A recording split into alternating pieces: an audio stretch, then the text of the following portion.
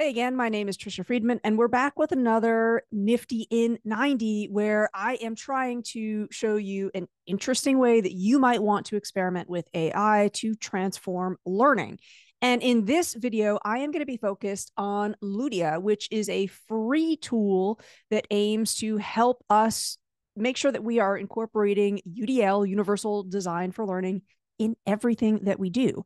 I first learned about Ludia from the work that Dr. Katie Novak is doing on her blog. She has a great review um, and an example of how Dr. Novak used Ludia. I'll make sure the link to that post is over there in uh, the video description.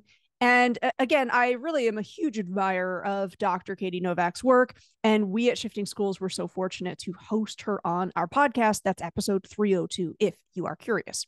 So, I went over to Ludia, which is a free tool, and this is the prompt that I gave it.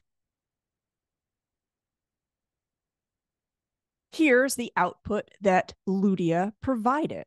Now, one of the reasons that I love Ludia is that it is going to really engage you in a conversational approach. So, one of the things we hear about all the time when educators first start using a tool like ChatGPT is, oh, I prompted it, I didn't like the output, I don't see the value. Ludia is going to show you all of the different options and make sure that it's not just about one prompt, but about building on prompts. So, I followed up with that and I said, okay, great. Can you recommend a warm up activity for that meeting that takes no more than five minutes?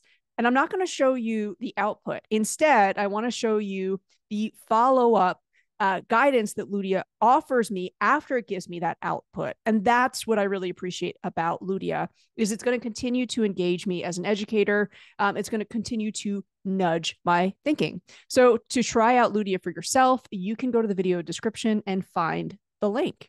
Thanks for watching.